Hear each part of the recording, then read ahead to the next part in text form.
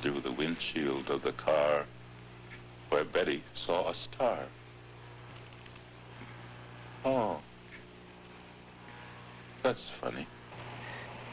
But I said, Betty, that is not a star, it's a satellite.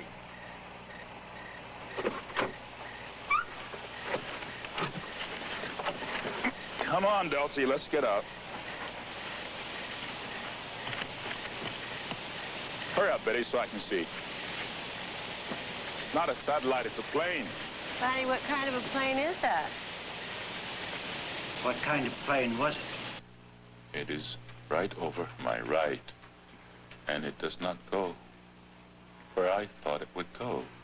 Barney, I'm asking you a question. What kind of a plane is that?